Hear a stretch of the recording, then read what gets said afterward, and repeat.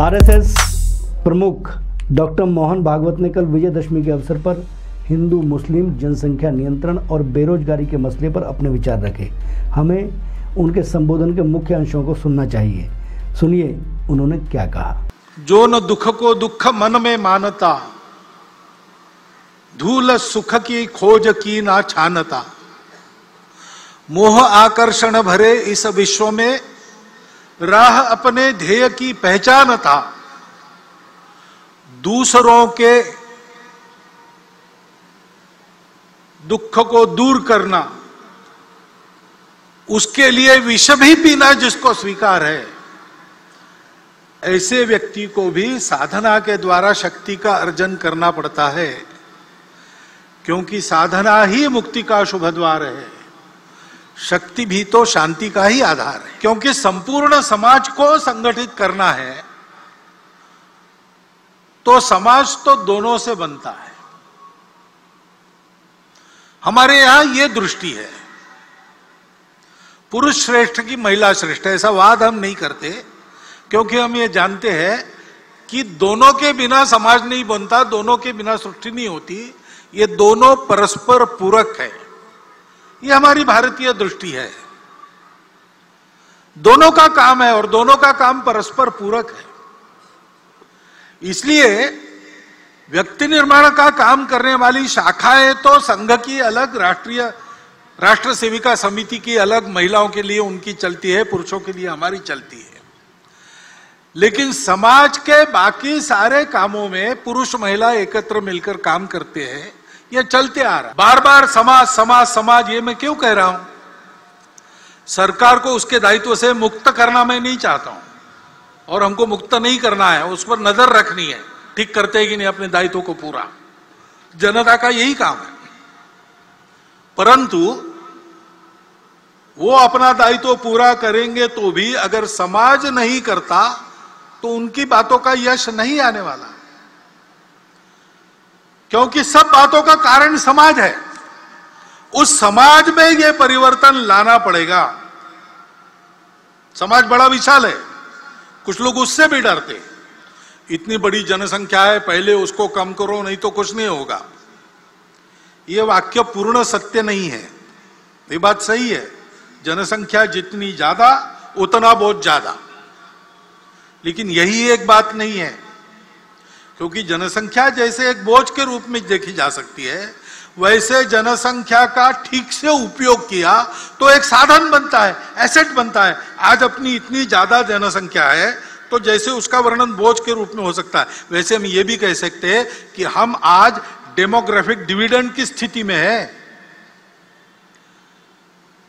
सत्तावन करोड़ युवाओं की संख्या किसी दुनिया के देश में नहीं है। चीन हमारा पड़ोसी, बूढ़ा हो चुका है। हम जवान रहने वाले तीस साल तक। जनसंख्या का विचार दोनों रूप से हो सकता है।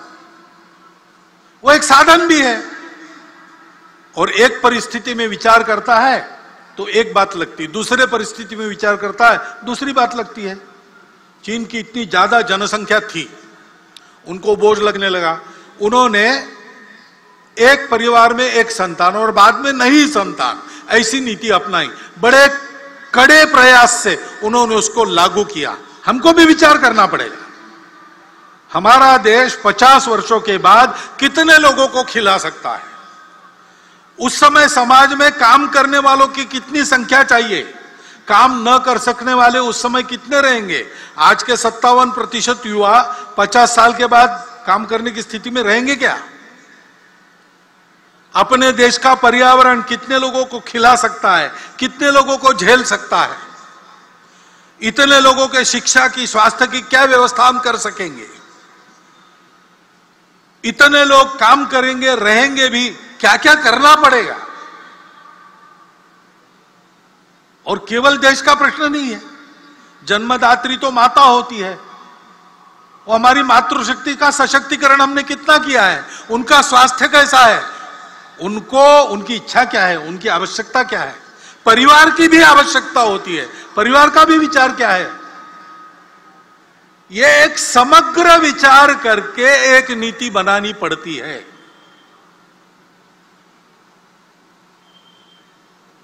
हमने ऐसी नीति बनाई, कुछ वर्षों पूर्व, भारत सरकार ने बनाई। और 2.1 ऐसा एवरेज संतान हमने उसको इतनी अच्छी तरह लागू किया, दुनिया को भी ये उम्मीद नहीं थी, वो आश्चर्य कर रही है। उससे भी नीचे हम आ गए दो तक। लेकिन बहुत नीचे आना भी गड़बड़ होता है, क्योंकि घर के बच्चों को सामाजिक व्यवहार का प्रशिक्षण परिवार में मिलता है, परिवार में संख्या चाहिए। चलिए, अब आगे बढ़ते हैं। नमस्कार, मैं हूँ राजकुमार चौधरी और आप देख रहे हैं चेतना मंच। आज हम लोग बात करेंगे विजयदशमी के अवसर पर राष्ट्रीय स्वयंसेवक संघ के प्रमुख मोहन भागवत ने किस तरीके से चीज़ों को क्लियर करने का प्रयास किया। विजयदशमी उत्सव पर राष्ट्रीय स्वयंसेवक संघ के नागपुर स्थित मुख्यालय में संघ प्रमुख मोहन भागवत ने इस पर बल देकर बिल्कुल सही किया कि अल्पसंख्यकों के लिए कहीं कोई खतरा नहीं है। न तो हिंदुओं से और ना ही उनके संगठन यानी आरएसएस से। ऐसा कोई वक्तव्य इसलिए आवश्यक था क्योंकि पिछले कुछ समय से यह वातावरण बनाया जा रहा है कि मुस्लिम असुरक्षित महसूस कर रहे हैं। चंद दिनों पहले इस बात को मुस्लिम समाज के पाँच प्रमुख लोगों ने तब दोहराया भी था, जब उन्होंने दिल्ली में संघ प्रमुख से भेंट की थी। तब से इन लोगों की ओर से ये बार बार रेखांकित किया जा रहा है। संघ प्रमुख से उनकी मुलाकात का मुख्य उद्देश्य उन्हें अपनी इस चिंता से अवगत कराता था कि मुस्लिम समाज खुद को असुरक्षित महसूस कर रहा है।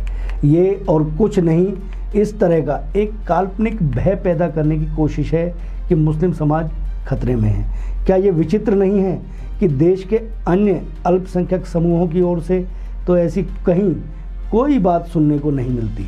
कि वे स्वयं को असुरक्षित महसूस कर रहे हैं। लेकिन सबसे बड़े अल्पसंख्यक समुदाय यानी मुस्लिम समाज के कई नेता, धर्मगुरु और अन्य प्रतिनिधि यही सिद्ध करने में जुटे हुए हैं कि मुसलमान डरा हुआ है। यह ना तो एक किस्म की शरारत है, बल्कि सच से मुँह मोड़ने की कोशिश भी।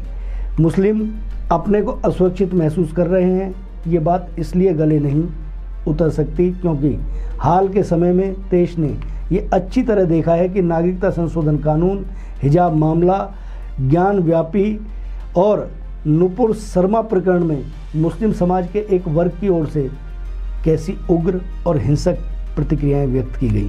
क्या ये प्रतिक्रिया ऐसे लोगों की हो सकती हैं जो खुद को असुरक्षित मान रहे हों? उनकी अनदेखी नहीं की जा सकती कि सभ्य समाज की चिंतित करने वाली इस प्रतिक्रिया पर वे सब लोग मौन ही अधिक रहे, जो यह प्रचारित करने में लगे हुए हैं कि मुसलमान तो डरे हुए हैं। आरएसएस के पदाधिकारियों और मुस्लिम समाज के प्रतिनिधियों के बीच संवाद में कोई हर्ज नहीं, लेकिन वह इस झूठ के सहारे नहीं होना चाहिए कि मुसलमान भयभीत है या उनकी अनदेखी हो रही है। ये अच्छा हुआ कि संघ प्रमुख ने इस खोखली धारणा को खारिज कर दिया। मुसलमान असुरक्षा के साय में जी रहे हैं, क्योंकि सच को किनारे रखकर किया जाने वाला कोई भी संवाद समस्याओं के समाधान में सहायक नहीं हो सकता। एक तो इतने बड़े समुदाय की अनदेखी संभव नहीं है। दूसरे, तथ्य यही बताते हैं कि मुस्लिम समुदाय के कल्याण के लिए केंद्र और राज्य सरकारों की ओर से कई उपाय किए जा रहे हैं। मुस्लिम समाज उनसे लाभान्वित भी हो रहा है। आज के इस एपिसोड में इतना ही। हमारी टीम को दीजिए इजाज़त। शुक्रिया।